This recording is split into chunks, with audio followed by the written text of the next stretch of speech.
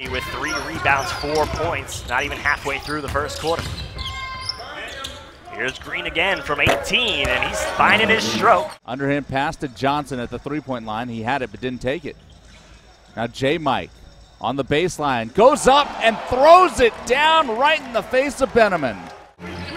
Up 65 49. Here's Cotton. Pick and roll to Payne. Off the glass and a tip follow dunk. Bussy around a high screen. Goes to his right. Taking Cotton with him. Crosses him over on the drive. Bussy puts it up. Blocked. Spurs looking for their fifth straight win. JaMychal Green foul line jumper is good. Yeah, Vander Blue is double teamed. Behind the back pass was intercepted by Green. He goes the other way, coast to coast. JaMychal Green on the drive, puts it up, rimming good. Cotton, pick and roll, stolen by Blue. Here comes Vander, swatted from behind by JaMychal Green.